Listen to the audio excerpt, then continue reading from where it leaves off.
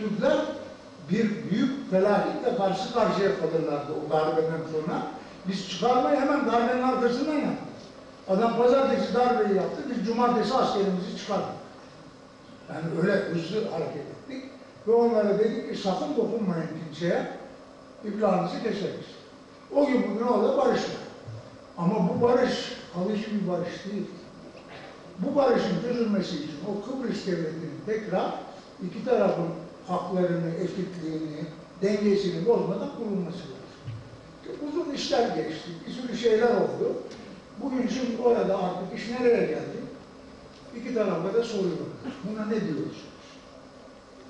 Şimdi burada artık işin çok alternatifi kalmadı ha. Türkler ya evet diyecekler ya hayır diyecekler. Başka bir üçüncü yol yok. Rumlar ya evet diyecekler ya hayır diyecekler. Üçüncü bir yol yok. Şimdi Rumlar hayır da deseler Avrupa'ya gidiyor. Yani o önlemiyor onların hayır demesi onu. Ama biz hayır dersek anlaşma taraflısı olmadığımızı söylemiş oluyoruz. Biz bunu beğenmiyoruz. Ama neyi beğeniyorsun? Var mı bir plan? Çünkü bu plandan başka dünyanın kabul ettiği bir plandır. Ne diyeceğiz şimdi burada? Biz her halükarda Yunanlılar veya Rumlar hayır dedikleri zaman bizim orada yapabileceğimiz tek şey ne?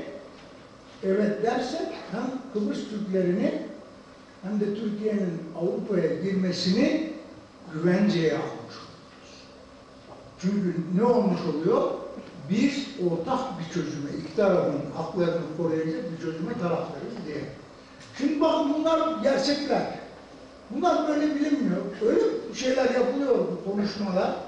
Hiç gerçeklerle alakası olmayan, sanki o Kıbrıs'taki topraklar bizim Türklerin tabulu malı. Hiçbir tabu yok orada. Tabuyu kim verebilecek? Çünkü o şeyden karşının tapulu malı, onların tapusu var ellerinde.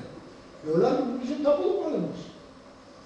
Ve dolayısıyla anlam planında o tapulu malların bu tarafa tapulanması için ıı, masrafların, tazminatların nasıl karşılayacağı hepsi çözülür. Ve unutmayın ki anlam planının müzakeresini yapan bizim kendi adamlarımız. Hariciyemiz, diplomatlarımız ve uzun şeyler oldu. Yani ben kendi bildiğimle sizlere şunu söylüyorum.